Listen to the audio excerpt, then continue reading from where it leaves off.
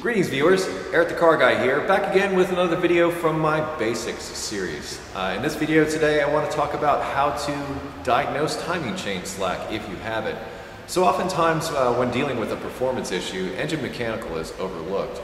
And this is something to check for. Now, I'm not necessarily speaking of like say uh, an overhead cam type of engine where you've got one big long timing chain.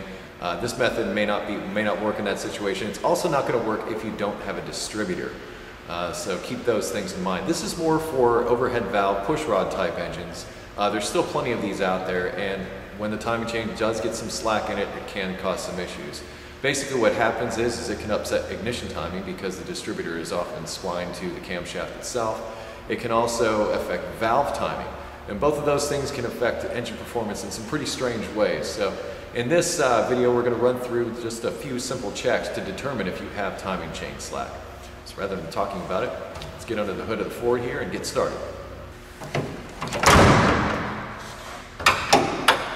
One of the first things we need to do is we need to figure out what size uh, the crank bolt is because we're going to have to turn the crankshaft during the process of this test. It is going to be a 21 millimeter uh, to rotate the crankshaft. So you're going to need some means of rotating the crankshaft.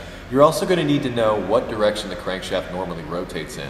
Uh, many engines rotate in a clockwise fashion, however some do not. Um, not too many that I can think of in this, in this style, but that's something you're going to need to be aware of. So now I'm going to grab a half inch ratchet to go with this socket.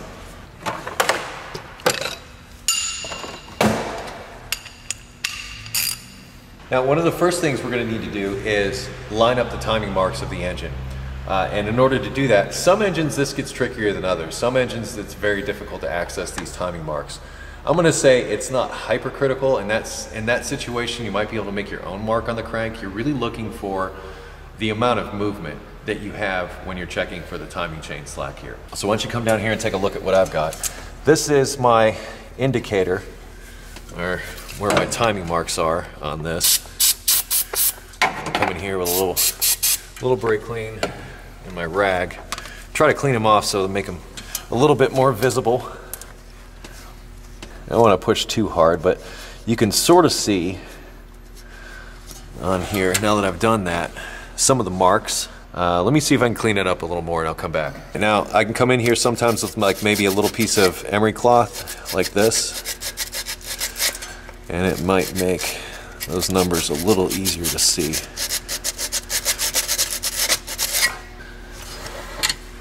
Yeah, I think we've got the general gist of it.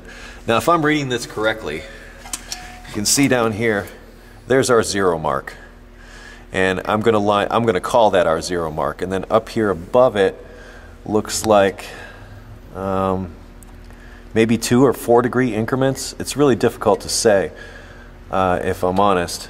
But the top one up here, here's the most important thing. The top one up here is 14 degrees, it looks like. And really with our test, we don't want any more than seven. So if we know this is 14 total, then I would say halfway in the middle would be seven degrees, and that's, that's the magic number we'd be looking for. So the next step is to come over here to the distributor. At the distributor, you want to remove the distributor cap. And that way we can get a good view of the ignition rotor. Um, so the next step is to line up number one, or line it up at top dead center on our timing marks over here. And you'll notice that the ignition rotor rotates as I'm doing this. And you can actually make your own mark when doing this. That's acceptable also. Because as I said, you're just you're checking for the slack. It's just easy to use the existing marks. There it is. See the mark coming up? Okay, I'm to bring that down to zero down there. So that's my timing mark. I have it lined up with zero. Now note the ignition rotor over here. So you see the position of the ignition rotor and maybe if my cap is marked, it will tell me that that's, yeah, that's number one cylinder. You can see the cap has a number one for the cylinder that it's on. Honestly, that's not hugely important, but it lets me know that I'm on the compression stroke because the crankshaft also rotates around on the exhaust stroke. to this same location.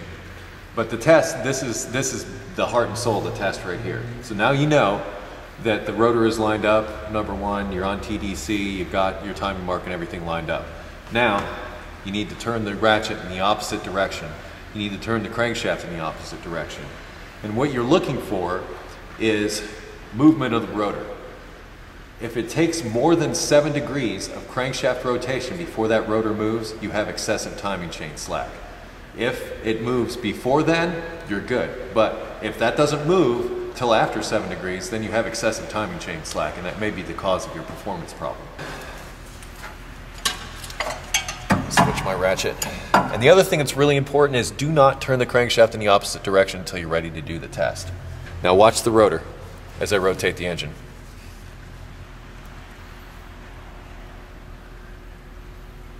You see it just started to move there? Looks like we're right at seven degrees.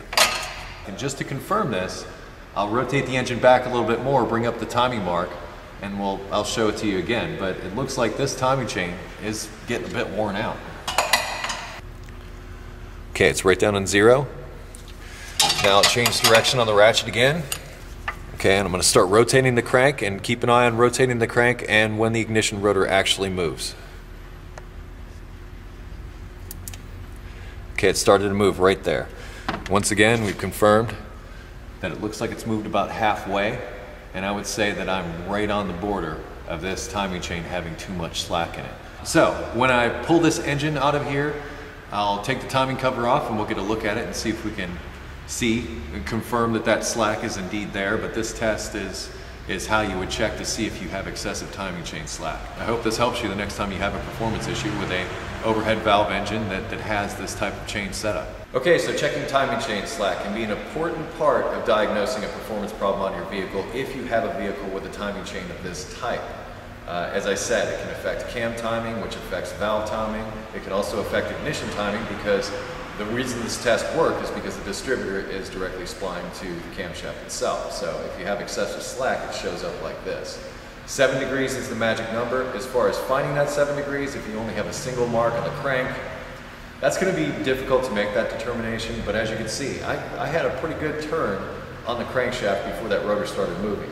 And that's basically your indication of how much slack that you have. The longer it takes for that rotor to start moving, the more slack you have in the chain. So that, that should give you. But as far as round numbers go, 7 degrees is what you're looking for.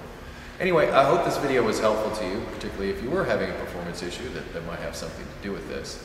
Uh, if you have other automotive questions, uh, you can always head over to ericthecarguy.com. There's a welcome video there to tell you about all the wonderful features we have available to you that will help you with those automotive issues. In addition to that, if you wish to connect with me socially, I can be found on Google+, Facebook, and Twitter. And I close each of my videos with be safe, have fun, and stay dirty. See you next time.